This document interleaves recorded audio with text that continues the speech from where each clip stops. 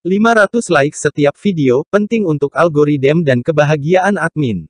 Buka video, tekan like, lepas tu nak tengok video lain, suka hati Anda.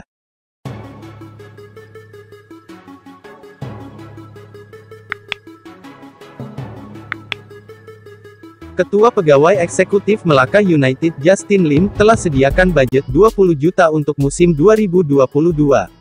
20 juta ini bukan hanya untuk beli pemain, tetapi tambah baik fasiliti Hang Tuah.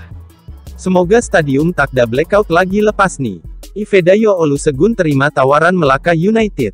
Walaupun Selangor telah tawar kenaikan gaji 30%. Tiga import Melaka United musim ini. Manuel Ott, Sony Norde, dan Adriano akan kekal bersama klub untuk musim 2022. Tetapi pertahanan yang Sukwong dikaitkan dengan perpindahan ke Kedah.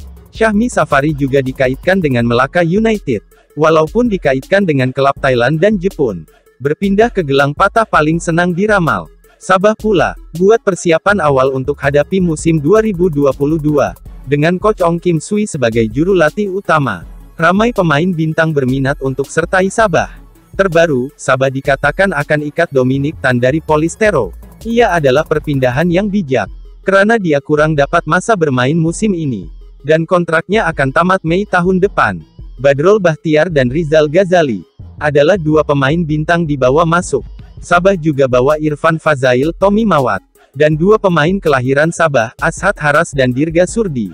Kairul Fahmi Cemat dan Damien Lim akan dibawa untuk perkuat penjaga gol Sabah. Manakala Amri Yahya, Nazirul Naim dan Rawilson Batuil dikekalkan pada musim depan. Untuk import, Sadil Ramdhani juga capai persetujuan untuk kekal di Sabah. Namun, ramai juga pemain Sabah musim ini akan keluar. Antara nama paling dikejutkan ialah Azizan Nordin. Dia dikaitkan dengan perpindahan ke Penang. Penang juga akan buat rombakan besar-besaran. Jurgen Klopp, Thomas Trucha belum dapat kontrak baru, walaupun tamat di tempat ketiga liga. Klopp jadi kambing hitam kelap. Karena pemain di Piala Malaysia bukan pilihan utama Penang.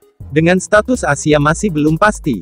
Karena Kuala Lumpur akan ambil jika menang Piala Malaysia. Masih awal untuk pemain memilih. Dilihat pada jadwal dibuat Penang Brotherhood. Lebih ramai pemain keluar dari sertai kelab. Penyokong Harimau Kumbang masih boleh gembira. Kerana tiga import Brazil Endrick, Rafael Vitor dan Casagrande, kekal bersama Penang musim hadapan. Penang bawa semula legenda kelab, dan pemenang Puskas Fai Subri. Antara kesebelasan utama keluar pula. Sem Somerville, Seridin Boboev, Ryuji Utomo, Quentin Cheng dan Al-Hafiz Harun.